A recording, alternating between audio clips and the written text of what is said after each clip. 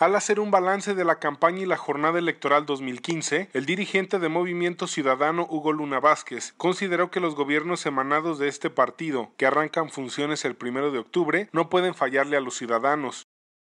Yo creo que el reto más importante es no fallarle a la gente, no traicionar la confianza, no matar la esperanza eh, que se ha fincado en el proyecto político de Movimiento Ciudadano. Esa es nuestra prioridad, te diría única concentrarnos en eso y honrar lo que dijimos una y otra vez, las dos palabras mágicas, buen gobierno en cada espacio de representación.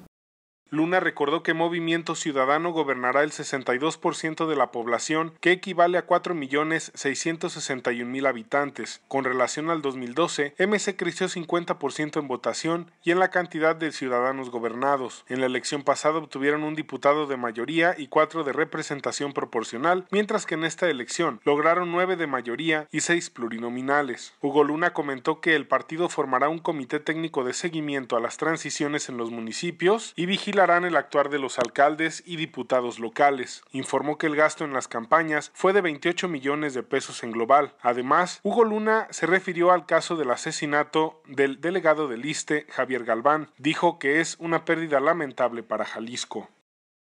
Yo creo que lamentable, es una gran desgracia y eh, pues pronta resignación a su familia y esperamos que la autoridad eh, lleve a cabo las investigaciones pertinentes y den con los culpables a la brevedad posible.